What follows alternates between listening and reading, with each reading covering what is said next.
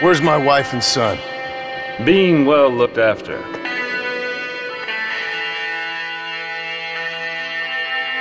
Should have left me there to die. Did you want to die? I mean, was that it? Was that why you went straight out to Fort Mercer and picked a fight with the worst bandit in the county? Oh, very good. What a great way to improve border relations. There's no escape. Look at me, I spent 25 years killing men. I been sent to track down the men I used to run with. Track them, kill them.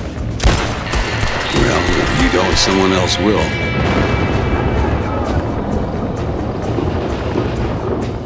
Come on, you're not gonna shoot your own brother, are you? We was family.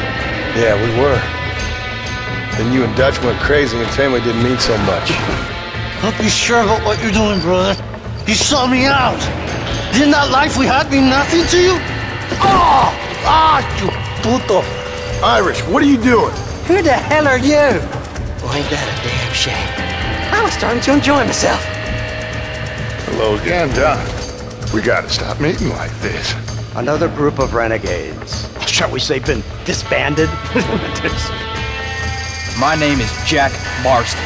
I ain't going nowhere, old man. Look at me, I spent 25 years killing men. Look at me now. Well, that's how it goes.